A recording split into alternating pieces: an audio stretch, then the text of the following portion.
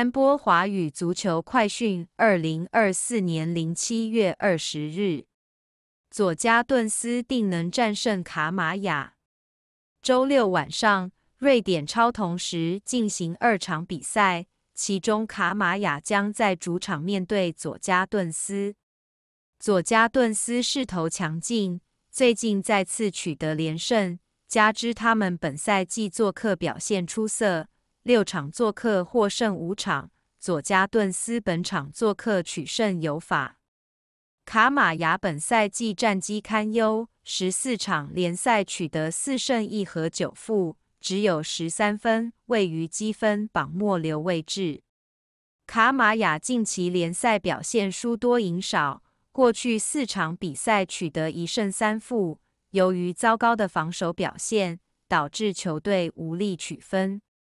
卡马亚本赛季防守端演出一直不佳，赛季均场失球为两百一十四个，即便有均场攻入一点三六球的表现，也不能因此拿到更多的积分。卡马亚虽说本场比赛在主场作战。但是他们本赛季主场战绩只有一胜一和五负，负率达到百分之七十一点四三。显而易见的是，卡马亚即使在主场作战亦毫无优势可言。本场比赛面对佐加顿斯，卡马亚败局已定。佐加顿斯本赛季的表现不俗，十四轮联赛过后取得十胜一和三负的战绩。位列积分榜前列。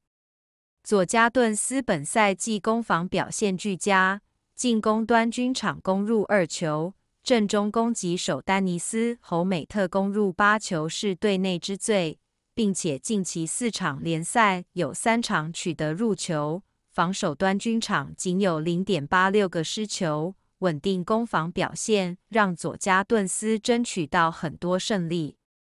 佐加顿斯在过去九场联赛斩获八场胜利，其中六场比赛能够做到零封对手。此外，佐加顿斯本赛季做客表现出色，六场做客取得五胜一负，拥有高达百分之八十三点三三的胜率。佐加顿斯本场比赛出征卡马亚，非常有信心能够全取三分。感谢您的收听。